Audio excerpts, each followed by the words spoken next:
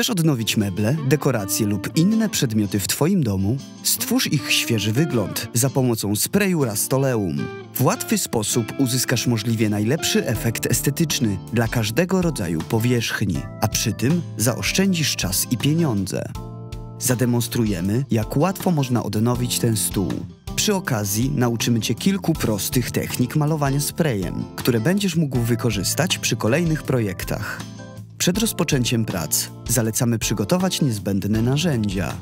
Poza samą farbą w sprayu potrzebna nam będzie folia malarska, taśma malarska, maska ochronna, rękawice, gogle, szczotka druciana oraz papier ścierny. Do prac na tym filmie wykorzystujemy stolik wykonany z drewna. W sytuacji, gdy chcemy pomalować przedmioty z metalu, należy w pierwszym kroku pozbyć się rdzy oraz luźnych elementów, używając odpowiedniego papieru ściernego lub szczotki drucianej.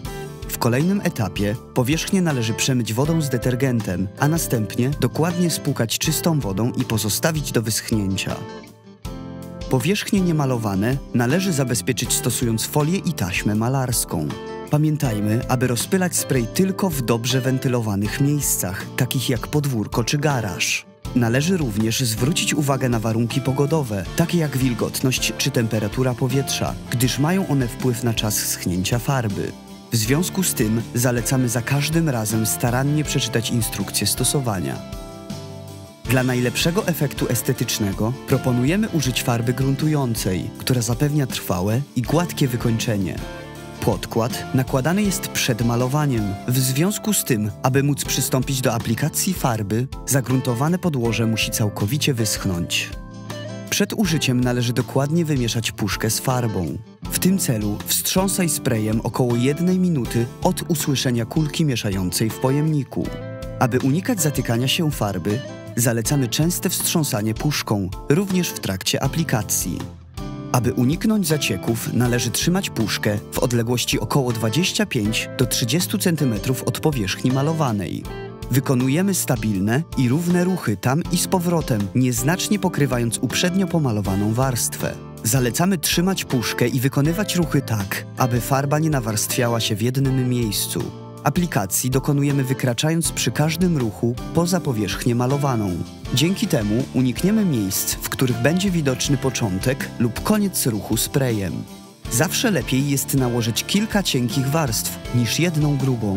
Zgodnie z informacją podaną na opakowaniu, należy upewnić się, czy przed nałożeniem kolejnej warstwy farby uprzednia powinna być całkowicie sucha. Zbyt wczesne nałożenie kolejnej warstwy może spowodować marszczenie pomalowanej powierzchni.